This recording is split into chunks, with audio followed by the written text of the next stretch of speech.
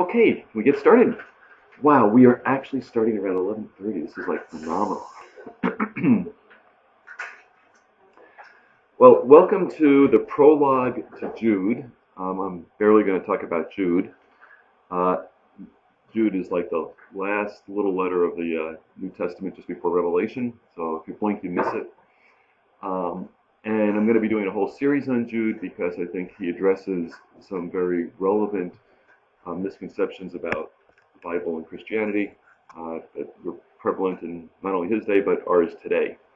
And he starts out saying, "Hey guys, I wanted to write to you about the common salvation we shared, but um, I thought it was more necessary to uh, needful to write to you to, contend earnestly for the faith, faith that was once and for all delivered to the saints." So uh, I'm going to be doing that over the next uh, many, many weeks, if not months. Even though it's a short letter, uh, there's lots of uh, bad thinking that Jude refutes. So we'll take a look at that. And I wanted to start Jude today, but right in chapter 1, there is what's known as a textual variant. The underlying Greek text, uh, there are different manuscripts. One has the word sanctified, another has the word loved, and you kind of have to figure out which one it is.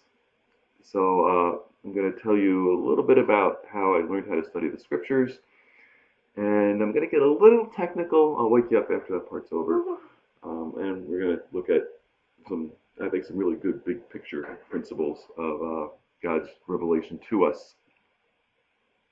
So uh, when I first, after my initial Greek courses, and my advanced grammar courses, I had my first exegetical courses, and we had to write a paper. We were assigned a passage, a couple of them for the semester, and uh, you had certain parts to this paper. And the first thing you had to do was determine whether or not you had the right text. So you had to basically do what's called textual criticism. And you look externally to look at the manuscript evidence to see which was the more reliable Greek text that underlay, underlay the New Testament. And then you'd have to uh, do some internal criticism, which is what basically everyone who does uh, exegetical Bible study in this body does, where you see trace the author's argument through the text. Uh, that is a almost dead art and skill. Then you'd have to do a word study. You have to go back to how it was originally used in classical times in the Septuagint and you know Old Testament translation into Greek. Then you'd have to look at how it was used uh, in Common Greek and papyri. You kind of trace the, the flow of the word and uh, then you'd have to figure out uh, what the best meaning of that word was in that context. And then you were prepared to do your exegetical outline. So uh, eventually I went on to grade that course for a number of years, and uh, I've read hundreds of papers and uh, observed how people did this textual criticism. And I came up with a you know, perspective, and I haven't given it a whole lot of thought since then, uh, because it doesn't enter into a lot of things. But there are a couple significant passages in Jude where I think it makes a difference, and a lot of people have asked me about this over the years, so I thought I would give you a brief overview or introduction to textual criticism and come up with a conclusion that is the only thing you really have to remember because that's, you know, for three and a half decades, that's all I've needed to know. but uh, it's got some good things. So Jude is a bondservant of Jesus Christ and a brother of James, who is also a brother of Jesus. But yeah, we'll get to that when future weeks. And he writes to uh, people who are sanctified or loved by God the Father, preserved in Christ Jesus, and the called. Uh, again, that's called is at the end of the sentence in Greek. It's an adjective. It's not a verb. Um, it looks like it's a verb the way it's translated here. So I'll talk a little bit about translations as well today. So I want to kind of help you understand that God has given us His Word. Okay, he, it's spoken, not stuttered. His word is designed to inform us, to guide us, to empower us regarding doing His will. And it serves as the basis for blessing and judgment. So it's a good thing to know His word. Otherwise, you're just, you know, uh, doubting in the dark. I came across this verse uh, way before I went to seminary. Uh, probably one of the first times I read the Psalms, and I, this one, Psalm 138, verse 2 says he's going to worship and towards the temple and praise his name uh, for his hesed and his truth. And then here's the phrase For you have magnified your word above all your name. And there are lots of different variations on this in the Hebrew text as well, um, and even more variations in the translations. But the thing that I kind of understood from that in my you know, baby understanding was that God's word was really important. And then as my understanding grew, I realized that God has magnified his word, his promises, the things that he said he was going to do. He has placed that above all that he has done. Figure of speech name is put for the acts that the name performs. So the word is primary. And uh, I remember when I was reading this, I kind of linked it to something I was reading in, in the uh, Gospels that Jesus would do things so the word would be fulfilled. And the thought I came away with was, wow, the word is really important. And uh, purpose to learn and understand it. And actually, I went to seminary to learn how to better understand the Word of God. And uh, fortunately, I came away with a really good understanding of it. God had me there at just a perfect time, and uh, the rest is history. But the point is that God's Word is the thing that makes uh, the earth exist. It's also what became flesh and dwelt among us for a while. We beheld his glory full of grace and truth. Jesus is the Word um, incarnate, so uh, in bodily form. So the Word's a big thing, and uh, it's really important to God's economy. And you can imagine it's something that Satan would try to thwart and distort, and he has succeeded incredibly well. But uh, there's a way to find and follow truth, and we're going to take a look at that. Here's my, see if I get this to do it. All right. So Jesus, in his first sermon, said, Truly, truly, or assuredly, I say, till heaven and earth pass away, not one little dot nor little tittle, little, it's a little squiggle mark, normally above the uh, top left corner of your keyboard, uh, will by no means pass away from the law until all is fulfilled. And later he's going to say, His words will not pass away. Heaven and earth will pass away, but His word won't. So what Jesus is saying here is even the littlest thing about God's word is significant, and uh, therefore we should pay attention to it. A little later in uh, his ministry in John 12, he said, He who rejects me and does not receive my words has that which judges him. The word that I have spoken will judge him in the last day. And this is something that our, in our day and age people just don't believe. Oh, you believe in Jesus, you don't get judged. But Jesus said, The word that I've spoken will judge you. And uh, by the way, the words I am speaking, says Jesus, are the ones that are going to judge you. So that means the word has to be understandable so we can do it. It has to be preserved so it will still be there for future generations and we know that it's going to be there in the future, and our lives are going to be evaluated against that word. So I was always a big believer in trying to figure out what was on the exams. Otherwise, I'd have to pay attention to everything. And uh, so I can figure out that okay, what God said is going to be there to judge me, so I have to make sure I'm doing what He said. A little later on, oops, what did I do here? Okay, there. Sorry. I'm having a little trouble with my mouse here. And this is like his last prayer before he went to the cross. He's in the garden and he's praying. And he asks the Father to sanctify those who believe in him, which I guess would be us, with his truth, and then elaborates that your word is truth. And you might have heard me say this before the only thing the scriptures say make you holy is the word. Fasting doesn't do it, singing songs doesn't do it, praying doesn't do it, memorizing doesn't do it. Uh, incorporating into your life, that's what makes you holy. So the word is really important for you to become holy and blessable and get blessed by God and fulfill your purpose for glorifying Him. So it makes sense that God would preserve His word so it could be around to sanctify us, just like it's going to be around to judge us in the future. Now, to ensure that that would happen,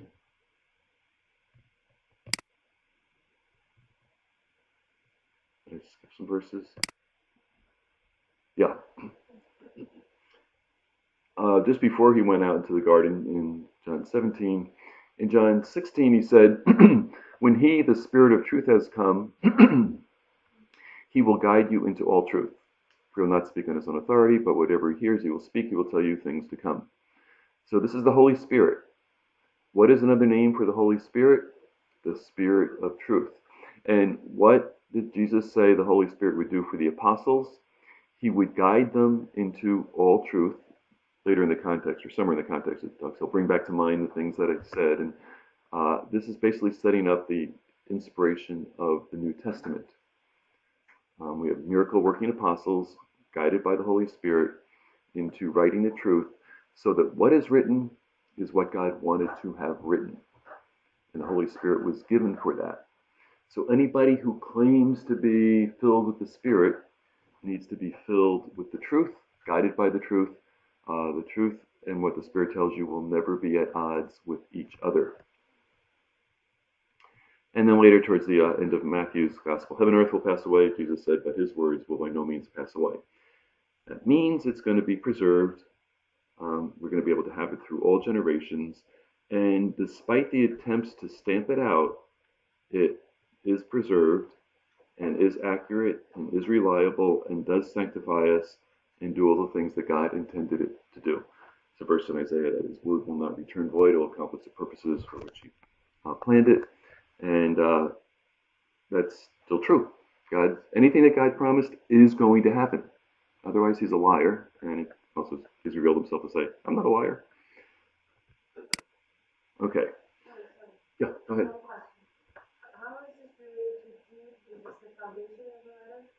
Yeah, this is this is telling you that the text that we've got is accurate and reliable. Okay, we can expect that it would be so because of what I just said. Right. Therefore, God makes sure that His word is preserved, it's accurate, and it's understandable by His faithful children. Preserve. You just follow history of uh, how Satan has tried to persecute and annihilate the word and distort it, you'll able to appreciate that. Uh, what we got is something we can accurately depend on. And here's something that I think modern people miss. It's understandable. You know, you don't need to be a rocket scientist to uh, understand this thing. God made it so it's comprehensible. Now, a lot of you uh, know this passage by heart. Uh, all scripture is given by inspiration of God. A little Greek of that is God breathed. So these are the words of God um, and is profitable for four things teaching or doctrine, same word. Um, I kind of move that into the path that we should take. Uh, the word is a light into my path. We sung this that earlier this morning. Um, it's profitable for reproof. Uh, that's bringing to light where we have gotten off that path. And that's the whole, there's a lot of, not a lot, but a fair amount of scripture about the whole concept of reproof and bringing the darkness into the light so you can see what's right and what's wrong. It's profitable for correction, shows you how to get back on the path once you've been convicted that you're off the path. And then, you know, that those are kind of initial steps in the Christian life. Staying on the path, life is a marathon. It can be tough. So discipline is the word that's used here, instruction, training in righteousness. It's basically how to stay on the path and do what's right in God's sight.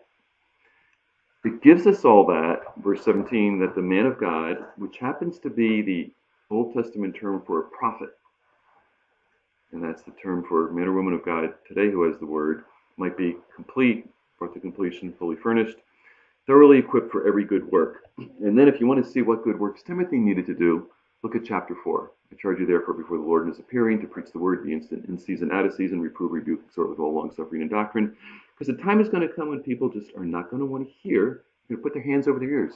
I can't hear you. You know, they don't want to hear it. And uh, when they don't want to hear it, um, they don't have ears to hear, and they are no longer disciples.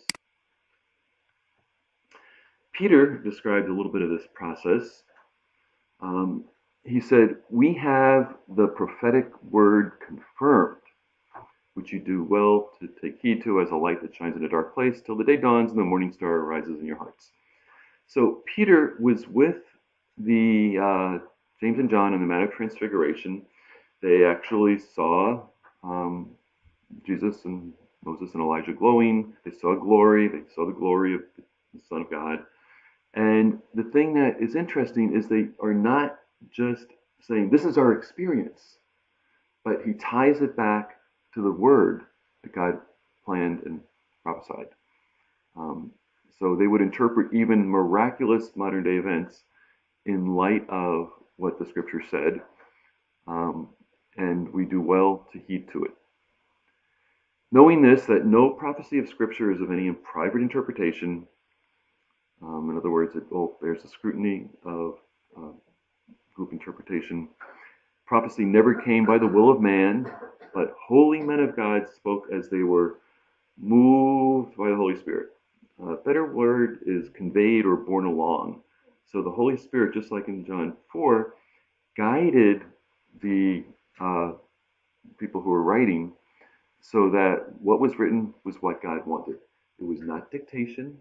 Uh, if we do some things on uh, the canonicity of Scripture and how it came about, uh, it, you know, that's one of the, the false theories. But he used the personalities of each person, and you can see their styles reflected uh, in their letters if you pay enough attention to them. So God has given us this word to guide us. We can rely on it. It is trustworthy, even though people will cast lots of doubt on it. The first textual critic who's going to criticize the text and say it's got problems was Satan.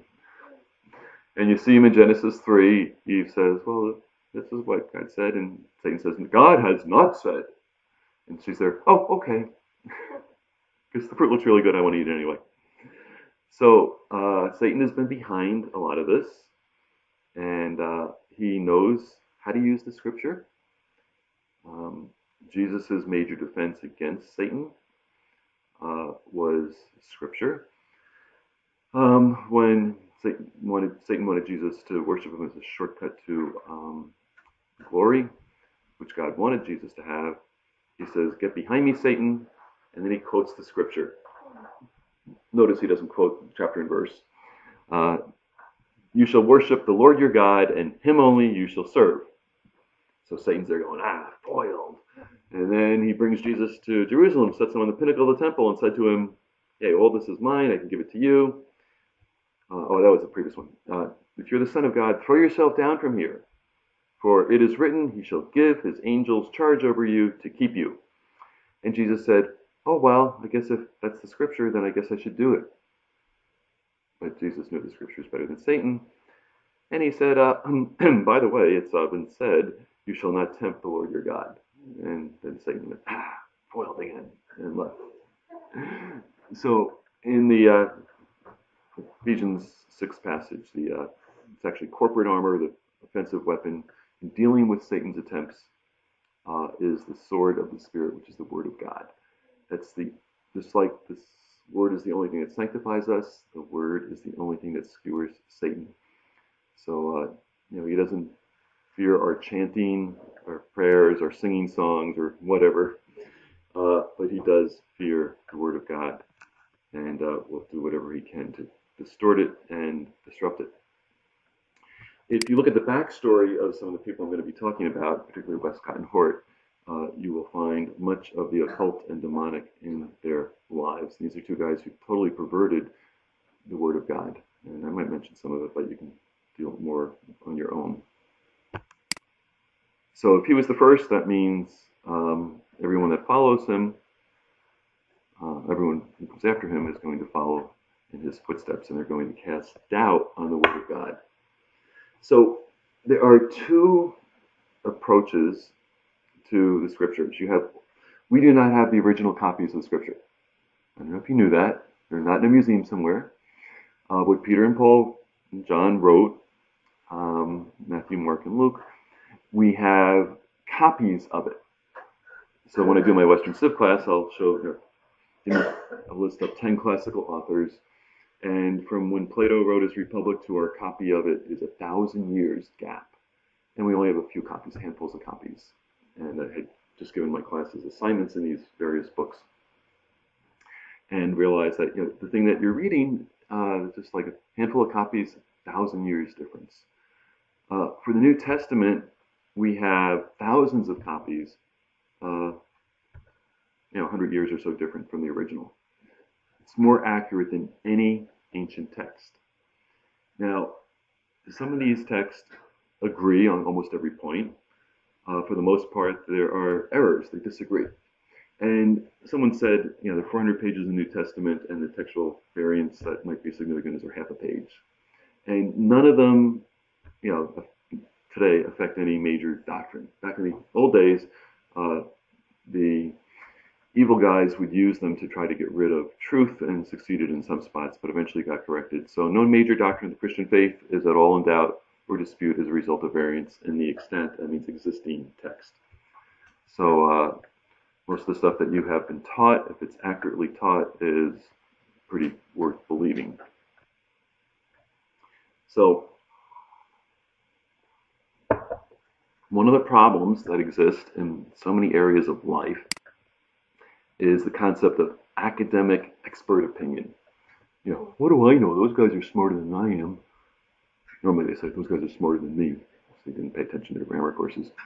Um, and we basically fail to take our role as uh, priest of God and uh, heirs of God's truth, and we just defer to the experts. So if you were Satan, where would you go to disrupt the whole church? You go to the academic institutions. And someone has said there's been no higher academic biblical institution that uh, has existed faithfully for over 100 years. All the Ivy Leagues, with the exception of Cornell, were started to train ministers. Now, it's like the farthest thing from their mind about training ministers. So, expert opinion has moved from, back in the 1800s, the majority text, which has the majority of text, to the minority text, which has the minority of text. Okay, so majority is the major bulk of scriptures. There's like 5,000 down here. Uh, right. 5,000 manuscripts um, that are in agreement with the TR, which means the Textus Receptus. Textus Receptus is the text of the King James Bible, and it means the text we received. So just kind of what came down. And a really smart guy who uh, didn't really buy into. He was a little. I wouldn't call him an agnostic, um, but he he was not Catholic. He was not Protestant. Uh, well, depending on the time, he might have been one or the other. But he basically put together the, the Textus Receptus, and it has, you know, a few issues, but uh, it, it's the basis of the King James Bible, which is the, really the Bible God has used to change the world. Okay, I am not a King James only person. Okay, um, the King James is wonderful if you understand Elizabethan English, but if you can't read, you know, Wordsworth and Brown, you know, some of the ancient, uh, not ancient, uh, Milton, some of the older uh, poet, poet, poets, you need a modern translation. So when I teach my survey courses at New York School of Bible, when I was dean there, I would use the NIV because it's very readable. But I tell people if you're going to study the text, you want to use uh, the New King James, and eventually want to get back to the underlying Greek. And it's amazing. If you have graduated from high school, or if you can read Harry Potter, particularly if you can read Harry Potter, you can understand a few Greek words you need to use. If you can figure out what those spells are, you've got the mental capacity to do that, right? Uh, and instead, it's like, oh man, don't ask me to know a word of Greek. Um, so the majority text is also known as the uh, Byzantine text type because Byzantine was the Constantinople. That was the capital of the uh, western half of the Roman Empire. Uh, it basically was intact, speaking Greek until like almost 15, 14, 50 or so AD. Um, and it, there are a lot of texts that were copied there and distributed. And one of those was the text that was used to translate the King James Bible.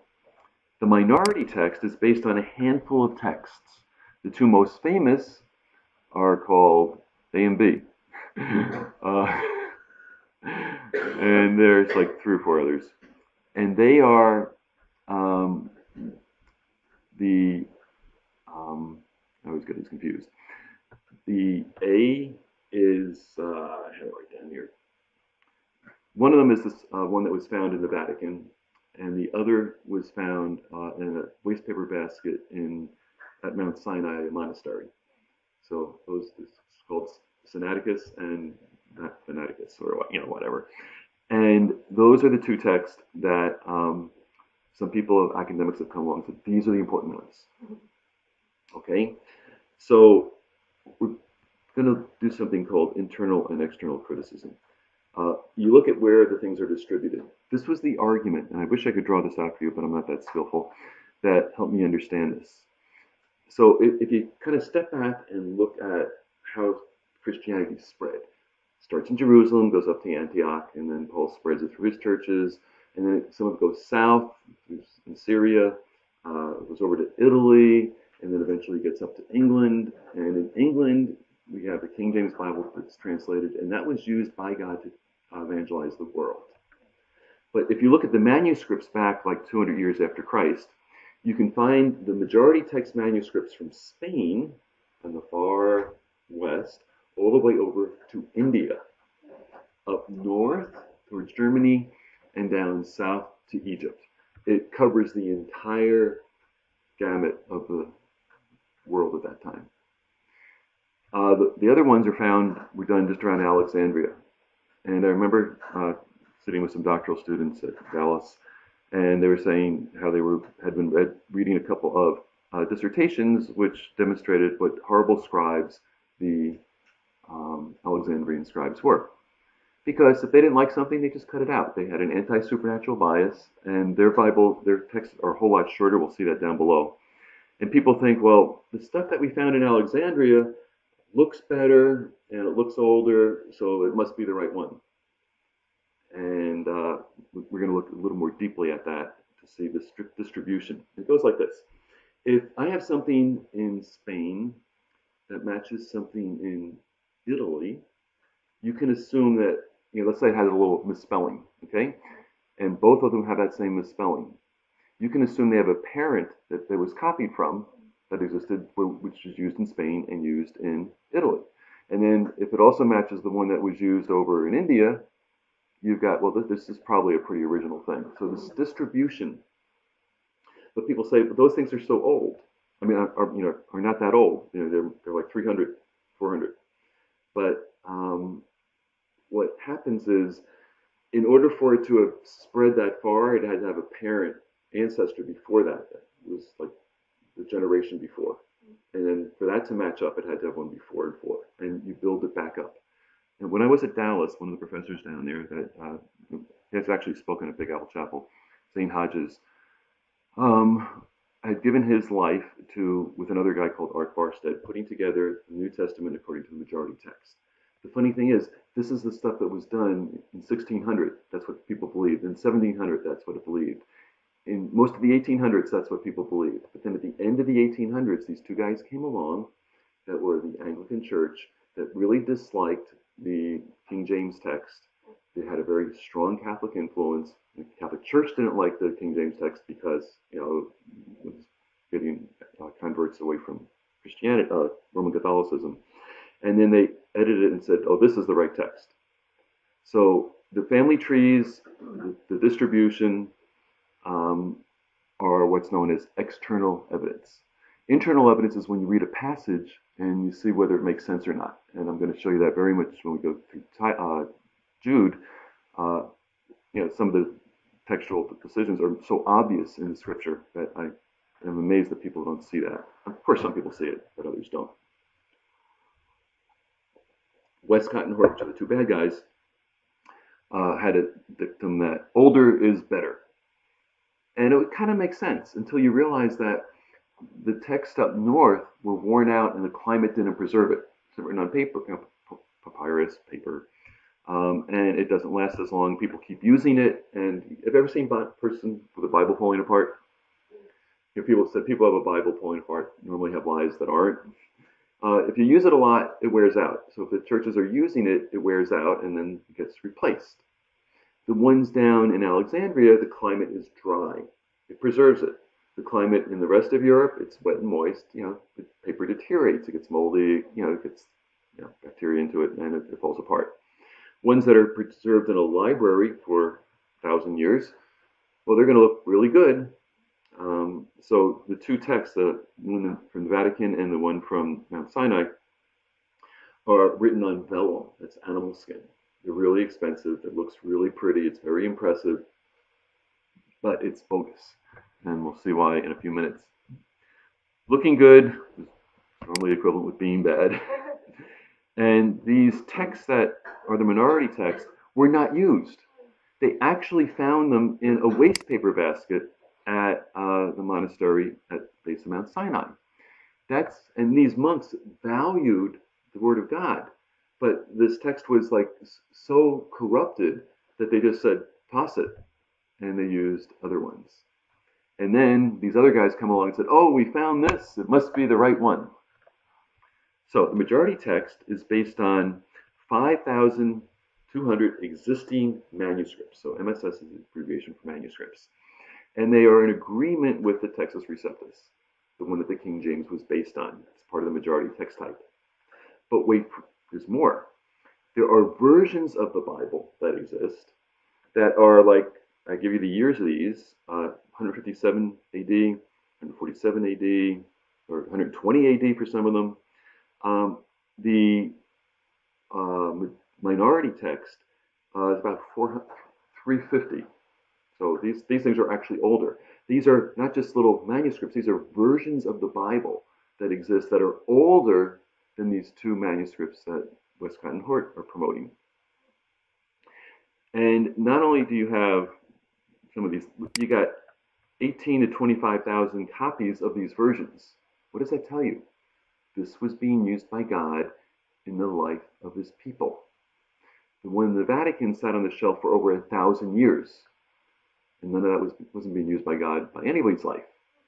The one at the waste paper basket at Mount Sinai wasn't being used by God in people's lives. God was using the scripture. Now, one of the things that helps you put this in context, when they started putting together the canon, that means the uh, books that they considered canonical or valid in the New Testament, had to have some requirements like being written by a miracle performing apostle or their associate, and um, had to not be contradictory to the rest of the scripture, which is why James had a hard time getting in because they didn't understand James. CDL, truth base, understand that argument. And then it had to be used by God in the lives of his people. So, like Paul wrote four letters to the Corinthians, but only two of those were preserved. And I guess God wasn't using those. So clearly, God was using the majority text in the lives of his people for you know, thousand and a half years, or almost two thousand years before these uh, others were discovered. Oh, now we have the real Word of God. Oh, really? What, what, what, what, what's been going on for the past couple thousand years? We don't, we don't have it? So there are all these copies of the majority text um, from Spain to India. Uh, this it's a Syrian text. Old Latin Vulgate, this is what God used to um, evangelize Italy. An italic text that was written. Uh, the Waldensians are a fascinating group. They have some of the oldest texts, and I'll probably mention them when I do the false teachers. Uh, they have one that was used to evangelize the south of France, uh, another old Syriac, Armenian Bible. There's actually still 1,244 copies of this version still in existence. So clearly God was using the majority text everywhere. Okay, now the minority text. Okay, so um, a is the one that was found by Mount Sinai. B is the one that was found in the Vatican. And they say it was written on fine vellum, which is tanned animal skins, and remains in excellent condition. Um, it was found in the Vatican Library in 1481. All right, that's just about the, just before the Renaissance. And in spite of being in excellent condition, this text that Westcott and Hort are saying, oh, this is the real text, omits um, all but four chapters of five four chapters of the book of Exodus. It misses creation, it misses Adam, uh, you know, Adam and Eve, it misses the fall, it misses Abraham, it misses Joseph, it, all that, all of Genesis, boom, not there. Um, it misses a bunch of Psalms, 30 or so. It misses the end of Matthew. It misses the Pauline pastoral epistles. That's Timothy 1, Timothy 2, and Titus, which tells you how to run church. Wasn't there. Uh, it leaves out the last chapters, last half of the book of Hebrews, which has some really significant uh, verses that um, kind of do damage to uh, Catholic concept of the Mass and sacrificing Christ every day. And it leaves out all of Revelation, which talks about the real kingdom of God. And then these guys come along and say, oh, this is the real original text. Unbelievable. It's seldom used because of so many omissions, alterations, errors, additions, deletions. Um, what does this say? Uh, and for one thing, uh, Vaticanus and uh, Sinaiticus, Sinat, uh, whatever, disagree with each other over 3,000 times in the Gospels alone. So you have these two texts that you say are really authentic, and just in Matthew, Mark, Luke, and John, there are 3,000 times where they disagree. How could anyone in their right mind say, this is the right text? Maybe they aren't in their right mind.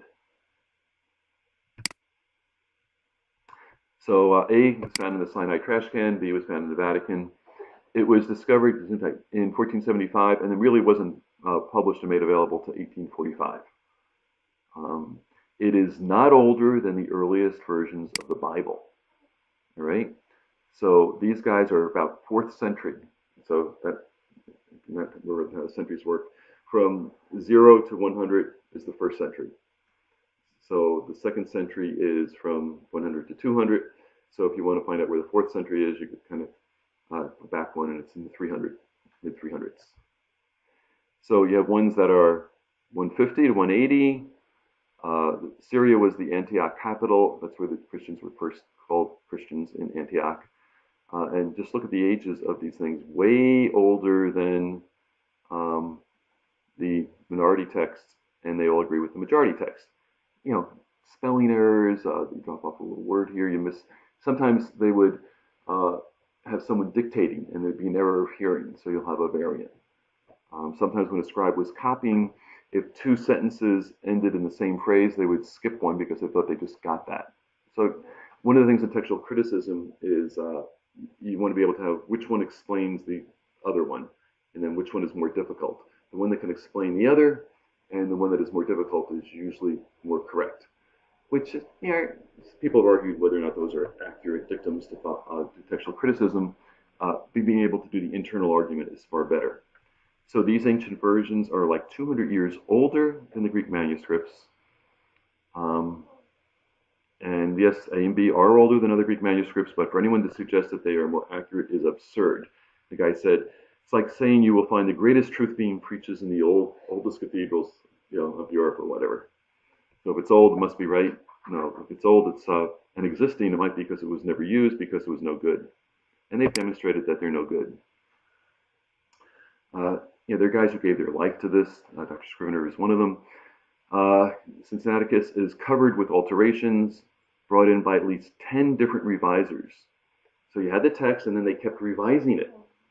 So it's not a pure original text. It's one that is revised, sometimes by 10 different revisers, revisers. Some of them systematically spread over every page. Uh, others occasionally limited to separated portions of the manuscript, like a footnote. Uh, many of them could be contemporaneous with the first writer, so the first writer could have done it, but the greater part of them belong to the 6th or 7th century. So we're now looking at something that was edited or revised at 550 AD. Which would you believe, something like that, or something that you have this wide distribution of from like 200 AD? So if you believe older is better, then you'd go for the versions that are older. Um, the Westminster Dictionary of the Bible uh, page 624. I normally don't quote these folks. But uh, the Vaticanus was available to the translators of the King James Bible, but they did not use it because they knew it was unreliable. So back in the day, they had this one, they examined it, and said, this stuff is garbage. And they didn't use it. That should tell you something. Uh, Dr. Martin, uh, B exhibits numerous places where the scribe has written the same word you know, twice, a phrase twice in succession. Uh, in the Gospels alone, uh, Vatican leaves out words or clauses no less than almost 1,500 times in the Gospels alone. Uh, it bears traces, another quote, of careless transcriptions on every page. Smyth says, from one end to the other, the whole manuscript has been traveled over by the pen of some scribe about the 10th century, and there's a footnote there where you, or a website there where you can kind of find some of these quotes. Or you just type any of these quotes into the Google bar. Okay, so Westcott and Hort did their work around 1881. In 1932, 1952, we have papyri uh, that are part of some collection that was found that had, like most of Paul's letters and some other stuff. So it wasn't just a little fragment, it was a pretty significant discovery. And uh, they number them 45, 46, and 66. And look at the dates of these 150 AD, 175, 150.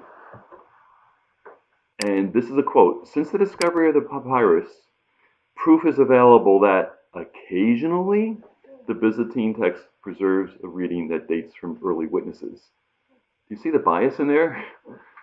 Uh, these guys are in accord with the majority text, and, but only occasionally, well, they might preserve a reading. They you know, might. So even if you know once in a great while preserves a reading, it basically shows that opposed to the uh, A and B from Westcott Hort, that the uh, majority text is superior. Um, I'm amazed to the degree to which academic people have bought into the fact that Westcott Hort is um, superior.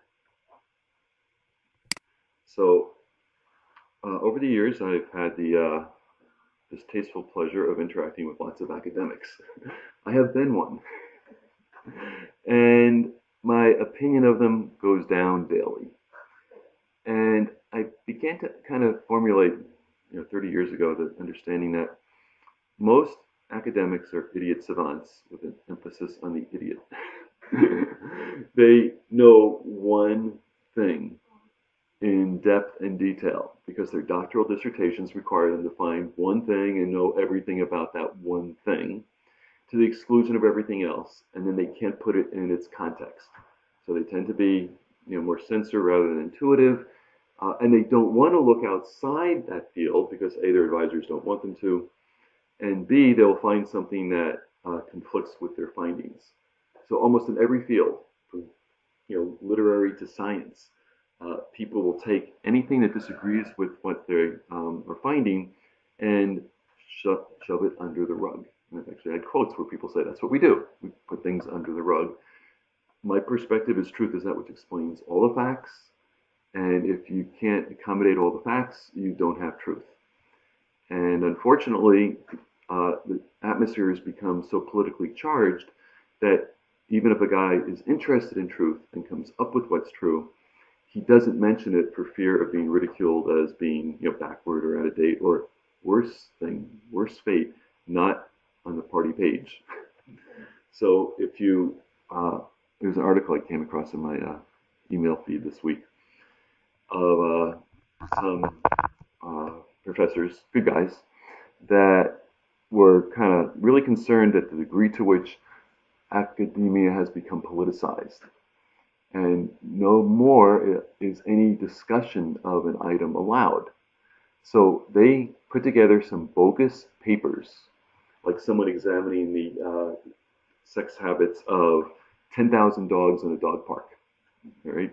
They wrote up these papers, they submitted them to journals, and uh, the journals published them saying what fine scholarship. And they did a handful of these, and anyone that basically condemned uh, you know, white males was uh, you know, published with raving reviews. Then they kind of came out with the fact that um, this was all bogus. We made this up. But the journals all published it and said it was good stuff. They weren't interested in science, they're just interested in um, promoting a political agenda. Uh, I remember my sister was getting her doctorate. It was, it was really, you know, it's on the flavor components of wine chemistry, but it was all politicized. She, she almost didn't get it because uh, she said something that offended her uh, dissertation chairperson. So um, the, the two things about the uh, bogus things published in the journals, um, number one, the journals were not chastised, but the professors who perpetrated this were considered the bad guys because they expose that the emperor has no clothes on. And then the second thing is not one of those journals lost any subscriptions from any of the universities, even though they're publishing fake science, bogus science, and uh, that's the academic world today. I remember uh, reading a lot when my kids were debating uh, on uh, you know, climate change stuff and the whole evolution thing. And one of the quotes I came across on uh, Creation uh, Answers in Genesis is something like this: uh, Majority of biology professors do not believe in evolution, but they can't say that because you know carbon dating and uh, the evolutionary thing is just bad science, bad statistics. It's bad everything. But if they say that, they will be ostracized, forced out, and will get absolutely no research grants. So we now have this thing where the academics are people who are just trying to enhance their reputation to get their grant, selling their soul just for their next grant. And it's just tragic. And the populace, it gets dumber and dumber and dumber, so because the educational process, and as a result, they can't, you know, basically think for themselves. They can't evaluate evidence. They really don't have the basis for saying, well, it's either this or that. It can't be both. And the populace basically says, oh, whatever. And I uh, remember riding, riding the bus. I'm, you know, one time I had to stand and I'm kind of overlooking a bunch of the people's shoulders and I'm looking. They're just playing games or doing crossword puzzles or checking sports figures. And I know there are lots of people who will tell you the statistics on every team approaching March Madness. they, you know, I remember we had, when we was doing debating, there were kids who would spend all this time memorizing baseball scores and statistics. Like, why give yourself to that? And then, you know, let's go a little further. So you might not be a, you know, crossword puzzle or sports statistics nut. Uh, the whole people, you know, you think about the math, I listen to financial news. So it's all about the number. What's the number? What's the stock number? What's this? What that? And then if you want to have the people that you know check out at grocery stores, it's all about the shows and the celebrities.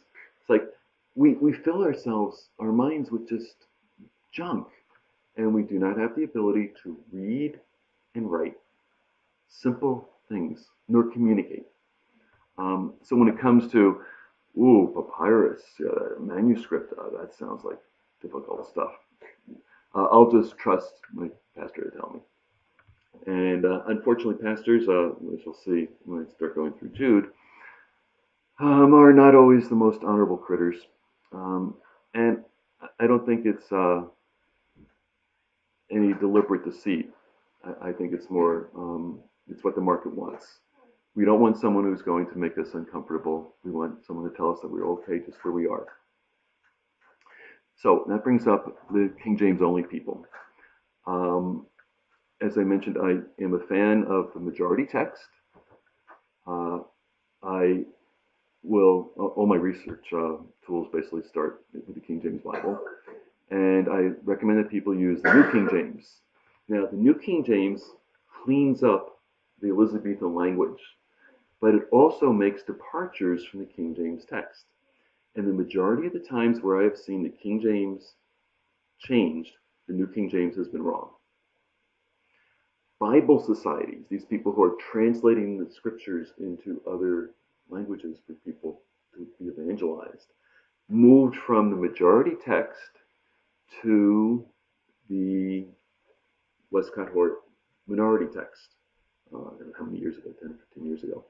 And I know the inner workings of two different Bible societies, and the liberals have taken it over and moved it away from the text.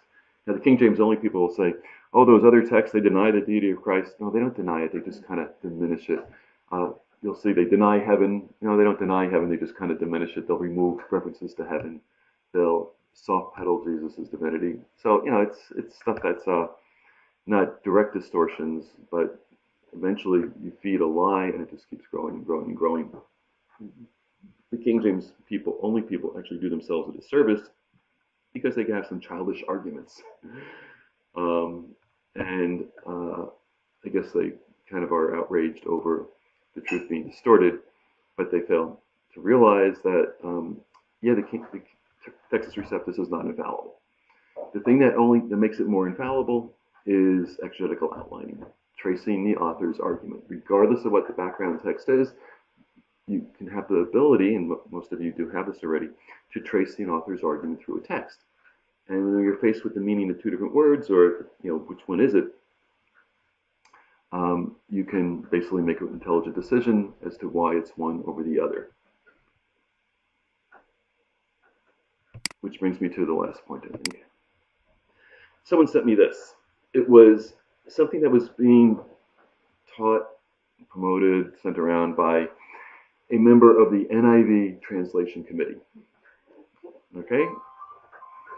So when we first started Big Apple Chapel, we had a gal uh, who was pretty literate, and uh, she learned how to study the Bible and then started referring to the NIV as the noticeably incorrect version. and um, yeah, you know, nine out of eight out of ten times, uh, if there's a decision where they depart from the King James, they've made a mistake. A couple times they are brilliant. The guy who did uh, Thessalonians, uh, beginning of chapters of Thessal- First and Second Thessalonians, the, the best work I've seen in terms of correctly translating pronouns. It was wonderful. Um, but for the most part, they've tried to smooth things out, and they smooth things out just like the scribes of old, based on their estimations of what should be there, as opposed to working with what is actually there. So he gave this example where uh, let's say, pretend you're a first year Greek student and uh, your assignment is to make a translation of uh, Colossians 1:12. So uh, I think he's a little southerner, so uh, you basically translate it word for word, looking using a using a dictionary, uh, and it comes up with made y'all sufficient into the portion of the inheritance of the saints in the light. And then he basically says, "Well, good. You've shown your professor that you remember dictionary definitions. Okay, and most of you know that knowing a dictionary definition is meaningless. You need to look at all the dictionary definitions to figure out which one the author actually meant. Then he goes on to say, you're going to have to decide what sufficient means uh, bag, uh, which is Bauer, Dingert, should be B-A-G-D, or Gingrich and Danker, uh, glosses it, presents it as to cause to be adequate, to make sufficient, or to qualify. And here's the kicker. However, qualified to me sounds like somehow now we deserve it. So I would never go with that option. This is the head of a translation committee. This is where people use their theological bias to come up with interpretations. And there, his Reformed theology says, oh, we can't deserve anything. So anytime he's going to have a, a passage of scripture that thinks we deserve it, he's going to change it. And uh, even though the NIV actually kind of did a decent one on this one, he says, much better are these. Uh, NRSV I really dislike. New Living basically bears almost no resemblance to the original text. When I was down in Florida, I visited a number of churches, and they had these translations up there, and I said, "Wow, that's a really cool translation, but like I've never heard anything like that." And then I said, "What's this NLT?" So I looked it up. Uh, the New Living Translation. Living Translation is a paraphrase, a pretty extreme paraphrase, and the new one is even you know further from the text. Sometimes they get it right, and I you you've seen on my outlines. I will bring in an outline, uh, a translation from something else because it says it really well. But there's this bias not only in what the text is, but in the ways they translate it. So the corrective is you need to learn how to study the scriptures. Otherwise, you're at the mercy of translators who aren't inspired or led along by the Holy Spirit. All that being said, uh, the scriptures that we have do serve as a guide for truth, a guide for doing what God wants, and uh, you can study it and make sure that you understand it. Okay, questions on what I set up above or any of the ones down below? Would you say ultimately Satan is behind uh, energizing these guys to bring um, disruption, disruptive texts or whatever? Yeah, let's look at question number two. How could two unused, highly amended, inconsistent, and inaccurate texts obtain prominence among very intelligent people? It doesn't make sense. Satan has done that. They want to be accepted by the smart guys. And that's how seminaries go liberal. Um, I had the blessing of not being raised in a uh, biblical church. Uh, why was it a blessing? Because when my, you know, rational processes fully kicked in, I was able to look at things and say, that's logical, that's illogical, that can't be right. I don't know what is right, but I know that can't be right. But if you think about almost everyone who gets to a position where they are um, teaching at a seminary level or translating the scriptures has grown up in a church. They have heard what the text is supposed to say from some guy up front who basically just thrown together a sermon or saying what someone else has said before him. And I can say this with a lot of truth because I used to grade sermons and I realized people are saying things that can't possibly come out of the text.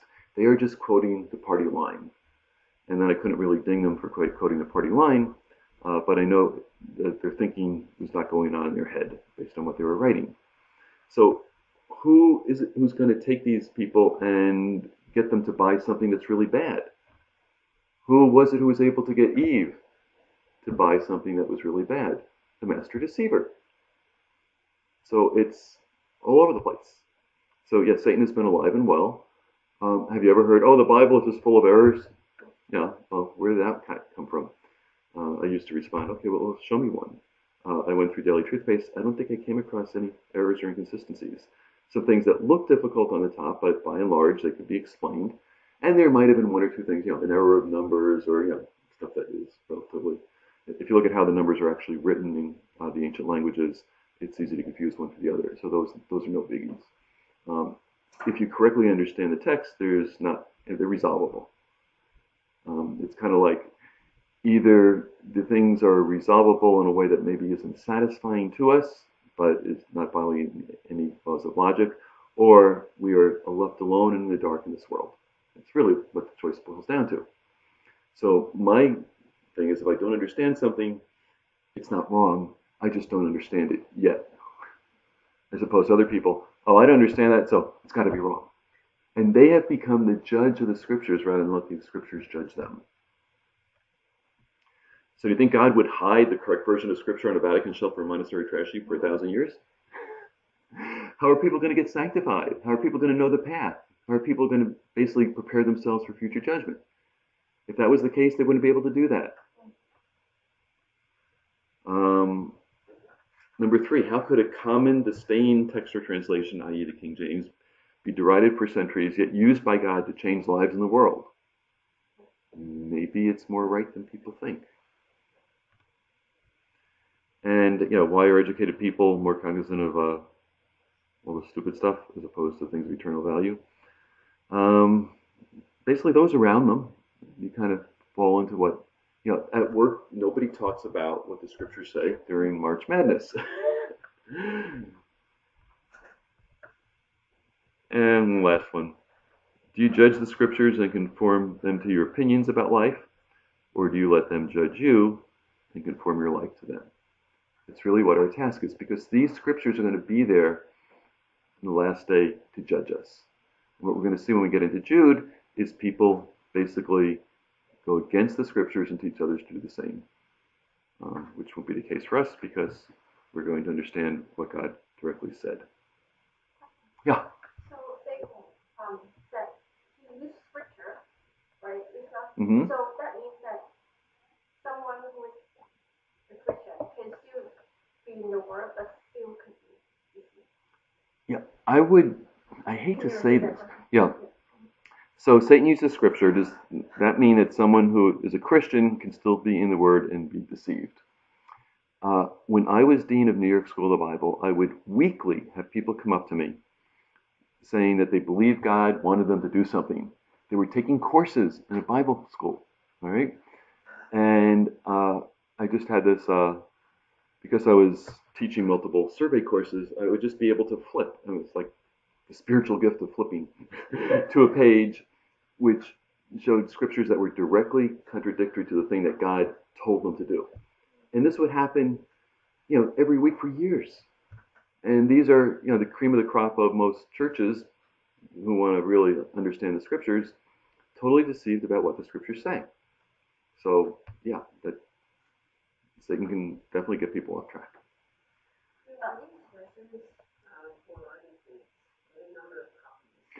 Uh, those are dates for the, for the copies. So the first one should have AD, and then all the ones that follow um, should flow from that.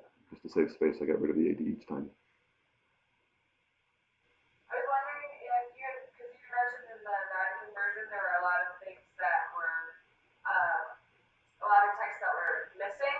Um, is that the same version that also has the books, like Tobit and Maccabees and all those? It also has things like the Shepherd of Hermas. It even has the Didache, which was uh, kind of a manual. So they put in apocryphal books as well as uh, some early church books. So um, it you know is not an accurate reflection of the uh, original text. Good point. Last call. So you don't have to worry about, you know, just look for the majority text. And if that one doesn't make sense, then you look for, you know, an alternative reading. But for the most part, it kind of makes sense. Um, you know, I, I basically, when I was in seminary, hung around a group of guys who uh, were all exegetes.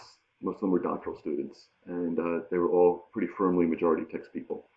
It's funny, I read couple articles, and normally when I start reading an article, I can tell, like in the first couple paragraphs, just like when I read a term paper, uh, the guy's bias, where they're coming from. And I'm starting to read this thing, and I don't look at the authors because I don't want to be biased. I look at what they say, and I realize, oh, that this is a bogus argument. Oh, they're, they're basically using argumentation about methodology and you know all this other stuff, and they actually come out for the um, Westcott Hort text.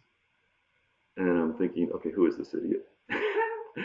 it was the guy who taught me Greek grammar. I mean, how how could you do that? You know, the guy is really good on the little nuts and bolts stuff, really, really good at that. But somehow he has gotten sidetracked. I have like three professors that have been sidetracked uh, into wrong thinking that you know I had personally, and no, and actually four of them, um, five of them. Well, keeps going. keep thinking that has kind of departed from what they once believed. And you know, these are guys who have multiple doctorates, and they just you know get seduced. That's how Satan works. Six of them. just, you know, just a, I better stop thinking this otherwise. And, and I went to, you know, I'm still really fond of Dallas Seminary, um, and I'm not even sure if they're still at Dallas, but uh, it's just sad. Okay, let's pray. Heavenly Father, we thank you that you have revealed your word to us in a way that we can trust it, rely on it, and understand it. Uh, Father, may we do so and obey it for your glory. Uh, may Satan be bound in his ability to confuse and uh, deceive people uh, regarding your truth. Uh, and may people embrace the truth and make it part of their lives for your glory's sake. We personally commit ourselves to this task in Christ's name. Amen.